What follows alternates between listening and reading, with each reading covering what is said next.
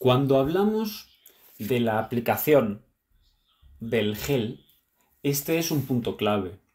Y es que hablamos de las relaciones específicas entre la piel y la fascia, que de hecho marcan los cambios a través de las conexiones que van desde la piel a los músculos. Lo podemos ver aquí. Aquí estaría la capa de la piel y aquí está el músculo. Y lo que vemos aquí es este entramado que de hecho viene representado por la grasa mecánica y las subcapas de la piel y claramente podemos ver que este es el entramado, la red que controla la actuación de los músculos. Y hablando sobre el progreso y los efectos particulares del gel de ABR serían la habilidad del gel ABR para contribuir a estas conexiones. El gel ABR entra a través de los poros a nivel microscópico y entra influencia y revive estas conexiones. Pero estas conexiones, que son particularmente importantes, lo son más todavía a nivel de la cara, porque en la cara hay varios elementos clave. Por un lado, cuanta más articulación haya entre los músculos orbitales y los músculos del ojo y los músculos del párpado con el resto de la cara, más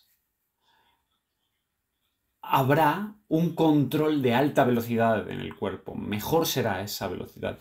Porque en cuanto a coordinación, ya estemos moviendo una pierna, un brazo, movamos lo que movamos, todo ese sistema de coordinación comienza en los ojos.